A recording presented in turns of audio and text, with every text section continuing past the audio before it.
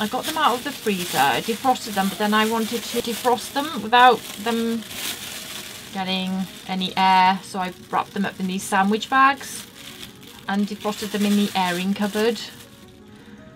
And um, I think that's done a good job.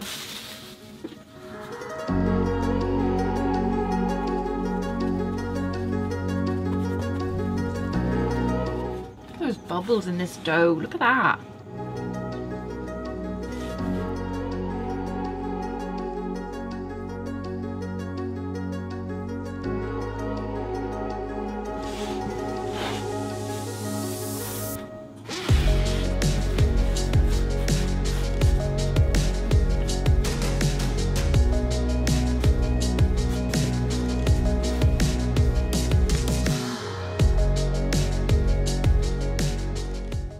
This is the block mozzarella um, that was frozen and I grated it.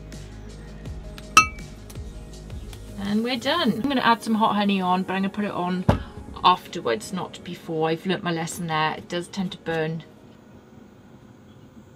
This oven does retain its heat very well, so I've cooked two pizzas with it and it's still boiling hot even after the cook, which is one of the things I love about the Roccbox is that when you're making lots of pizza, you can keep the heat in this oven very well. So if you're if you've got a pizza party going on this oven is fantastic for that. You just keep the gas on. You can turn it down to low in between the cooks and the heat of the stone is so thick that it retains the heat brilliantly. So that's one of the things i absolutely love about this oven. It's great for cooking more than one pizza um, and not having to keep waiting for it to warm up. It's already there um, as you can see, I've had this on, but it's very hot and it's, oh, look at the difference there. So look right by the door, 186, right in the middle there, 457, and right at the back there, 527. Sorry, that's just,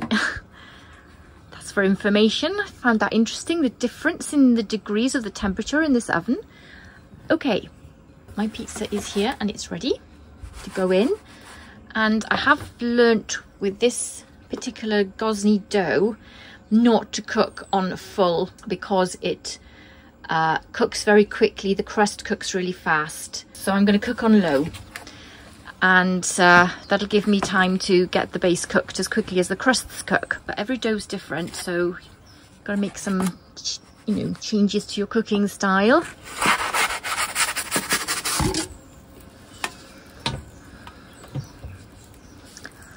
my peel.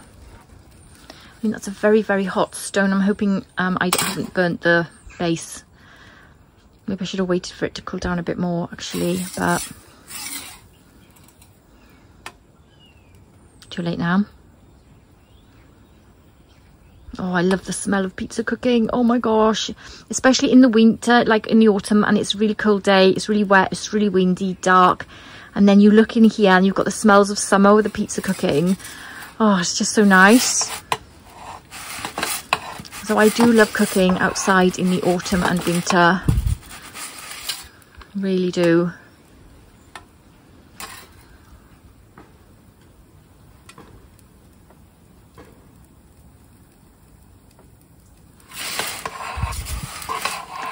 I've got this on low and it's cooking, I think, very fast on low.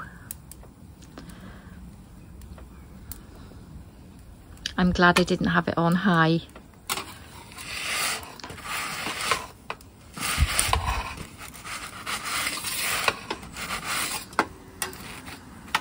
I'm not even putting it no close to the back.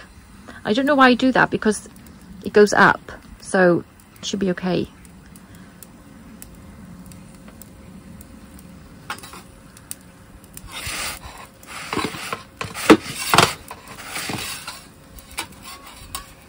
Bubbles there.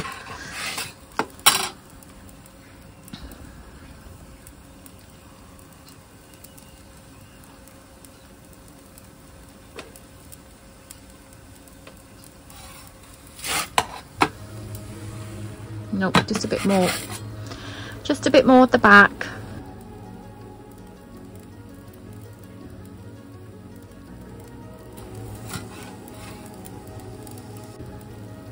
that was the original back on low. I didn't think it would cook that fast and it did. So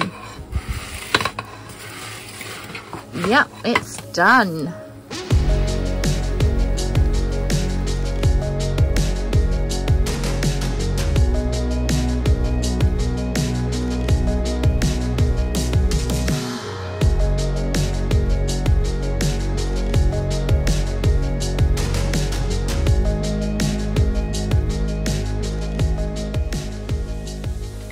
into this pizza. It's all started pouring with rain again.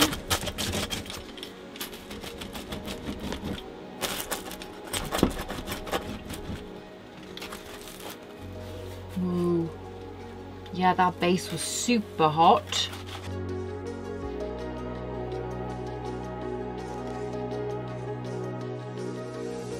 Again, it's Gozney's dough and I love the bubbling it has give it a try if you haven't.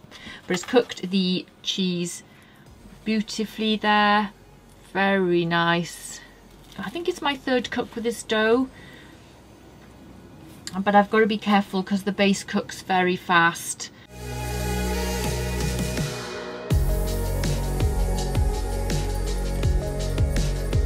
And I also put a little bit of hot honey on it. It's super tasty so I hope you enjoyed this video. Thanks for watching, take care, and I'll see you soon. Bye.